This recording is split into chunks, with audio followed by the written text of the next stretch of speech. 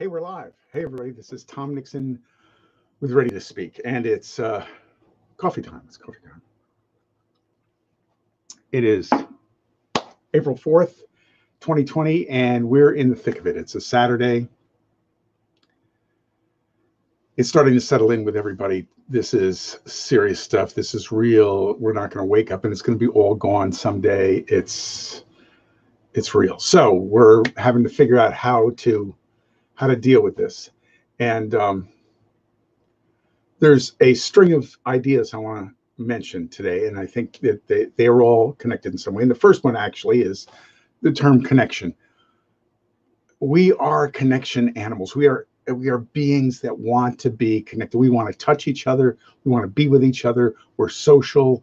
Uh, when we fall out of grace in our social uh, environments, uh, a lot of times we get into trouble. Uh, we become lonely. We become uh, antisocial. Bad things happen.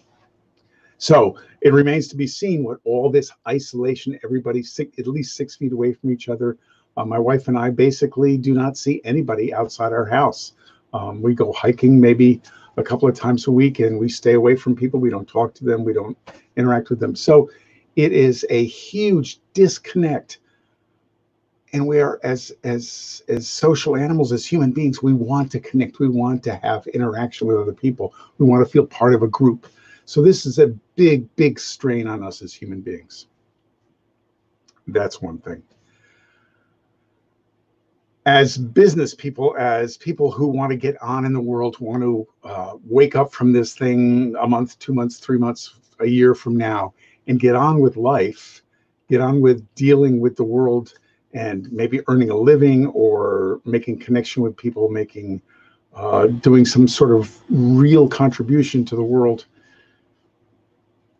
we have to uh, somehow awaken from this and get on with things. And I think that there is a general malaise that's falling all over the world of um, sadness, of uh, um, feeling like this is hopeless, that that we're uh, this is never going to end, or it's going to end badly, or it's going to end in a world that we don't want to be in.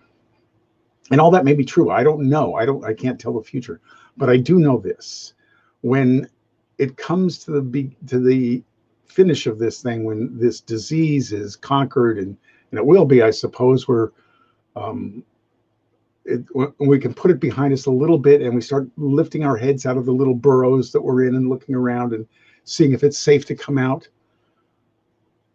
I think the people who are going to succeed, the people who are going to get on with life, the people who are going to be have some chance at a, a happy, successful life and career are the ones that have the most confidence.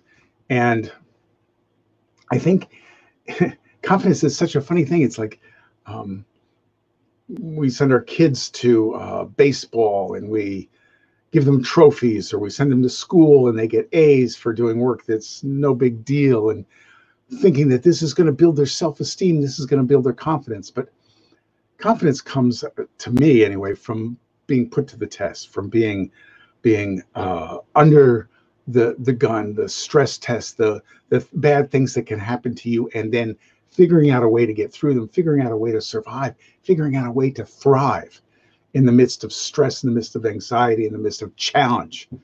Confidence, we have to earn it. It, it, it can't be something that is just given to us with a, a, uh, a participation trophy like our, our kids might get in uh, uh, little, uh, you know, preschool soccer. They've got to earn it. And um, to earn it you have to be tested to earn it you have to struggle to earn it you have to be you have to fail i guess to you have to you have to be crushed you have to you have to be told no and no and no and no and still find a way to do it so this is our time this is our time to to find that confidence to find that courage to say this sucks. This is terrible. This is the worst that could possibly be. But I'm going to make sure I get through this. I am going to fight my way through it. Every day I'm going to get up. Every day I'm going to push myself ahead.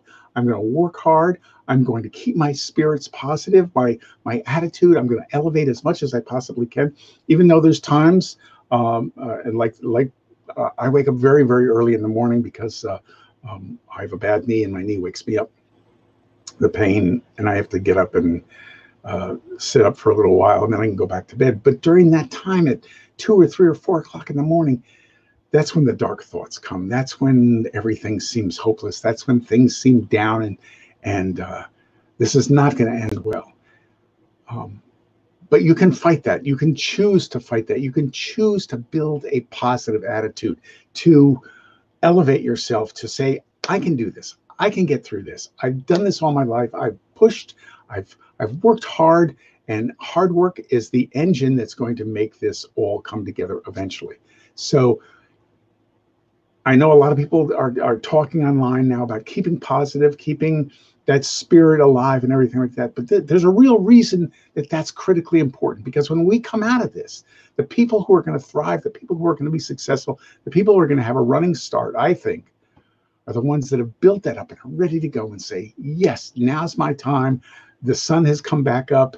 The dawn is breaking. Let's go. Let's get going. So I think confidence and keeping that positive attitude is the critical tool that we all need.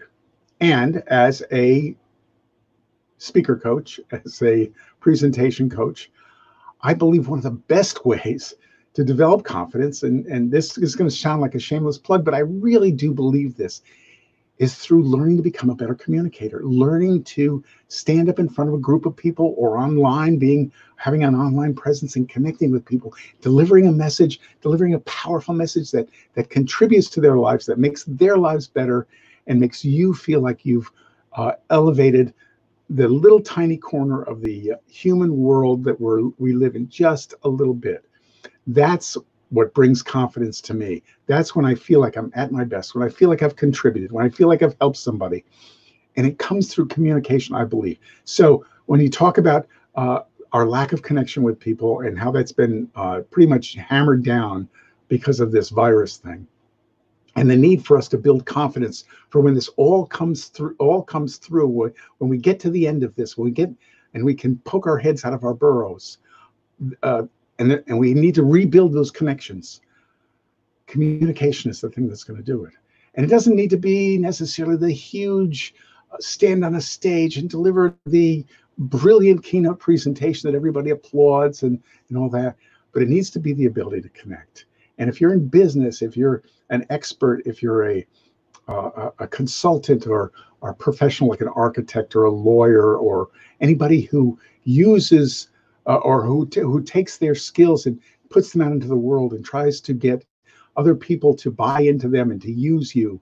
Communication is that critical, critical skill. So it's all about connection and it's all about building confidence and being ready to go when the starting gun starts again. And uh, the tool that you will use to become successful, I firmly believe, is communication. So don't lose your communication skills. How do you do that? I guess um, I think the best way is to get online, to connect with people online, uh, connect with your friends, connect with your family, learn to be a better presenter online. And there's specific things you can do to be more professional, to be uh, more connected, to be more organized. So, uh, and I'm not going to go into those now, but and, and hopefully over the next few days, I will dabble into some of those things, give you some idea of what you can do now to build your communication skills. But if you're not getting ready for what's going to happen in a month or two months or three months when the world opens back up again, you're consigning yourself to failure, I feel. So the connection will come back when we're when things are ready, when we get the all clear. Build your confidence up now, build your communication skills up now. Write a blog or learn to communicate orally.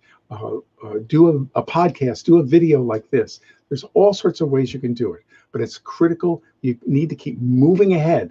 Uh, uh, and, and that's what I plan on doing. Keep moving ahead, keep trying to connect with people, keep trying to be a positive influence and try to contribute to the world and make it just a little bit better. So thank you for watching. This is Tom Nixon ready to speak. Talk to you next time. Okay, I gotta turn this off now.